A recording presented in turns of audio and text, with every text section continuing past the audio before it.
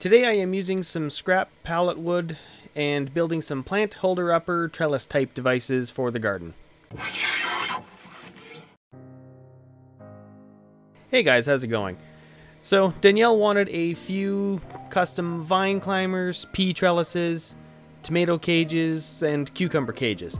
I just happen to have a bunch of pallet wood scraps because, you know, I have a bunch of pallets that I do have and have used so I have some scraps left over.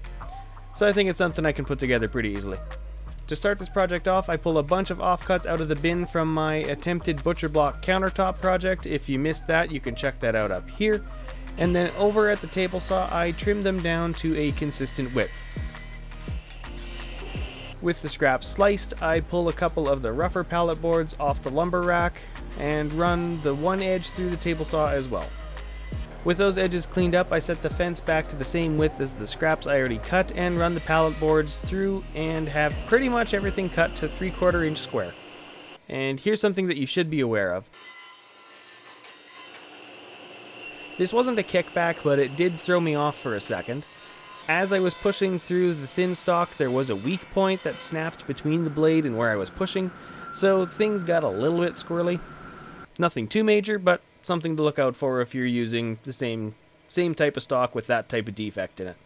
Something else I should have done was take out the nail tops that were left behind when I took the pallet apart. I knew the table saw blade was on its last legs, so I wasn't too concerned about damaging the blade itself, but it did end up throwing a little bit more sparks and shrapnel at my face than I was expecting or would have preferred.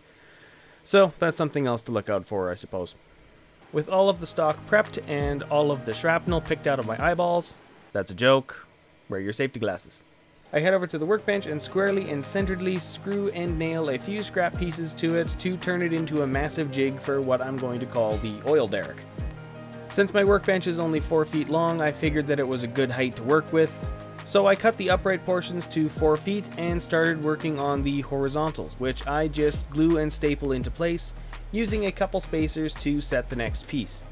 With all of the horizontals done, I flip the unit around and mark out where to cut the excess of the horizontals off. Then deciding that it was redundant and I could just use a scrap to cut the excess off, I just use a scrap to cut off the excess because marking it was redundant. And it keeps the angle consistent, which wouldn't have worked as well if I did it off the marked line on its own, which is why it was redundant. Did I mention that marking it was redundant? It, it was. With that joke now driven squarely into the ground and fertilizing the tree planted above it, I threw together another side of the oil derrick and began attaching the pieces. Basically, I just want it square, so I pick the top, middle, and bottom rows, cut some stock to the same lengths, and glue and staple them down.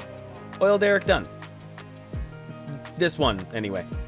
I did end up building a second one with same width and height, but half the depth.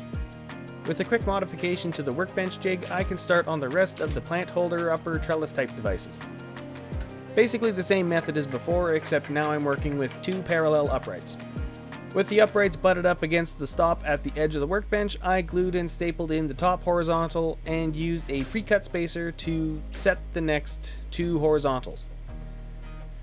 Then I flipped the unit around end for end and repeated that process for the opposite side, leaving this gap in the middle. Once I had a second unit completed, I set them both upright on the workbench, clamped them up, and stapled in the next batch of horizontals on both sides of both sides. Then I measured for center and cut the whole unit in half for two separate tomato or cucumber cages. Using the same workbench setup, I also built sides of the uprights with the horizontals using the same spacing all of the way down. This was for the last type of plant holder upper trellis type device, which is basically just a hinged trellis. I didn't have hinges for this size of material, but I did have a drill and some extra T-bolts and nuts. So I just offset the trellises, drilled a couple holes through both sides of both pieces, and tightened down the nuts. With that, the four plant holder upper trellis type devices are effectively done, but since I'm not 100% sure what kind of wood this is, probably spruce pine or fir, or SPF, it won't hold up great to the weather, so to give it all a little bit better of a chance, we gave it all a coat of paint. Danielle wanted purple. So, well, I guess it's more like lavender or lilac, but purple. Whatever you want to call it. No, it won't be the be all and end all of weather protection, but it's better than nothing, and we should get a few years out of these at least, which, for what we paid for it, basically just the paint, works for me. You'd think I would have learned from the last front planter I did a couple weeks ago and opted for a sprayer, but I didn't. Oh well. And with that, I'm going to call it a video. Thank you all for watching, and if you like what I'm doing here, give this video a thumbs up and subscribe for more. If you have any questions or comments, I look forward to reading them in the comment section below. And if you want to see more up-to-date projects, you can always follow me on Instagram at John the Schreiner. Otherwise, I hope to see you here in the next video, and have a good one.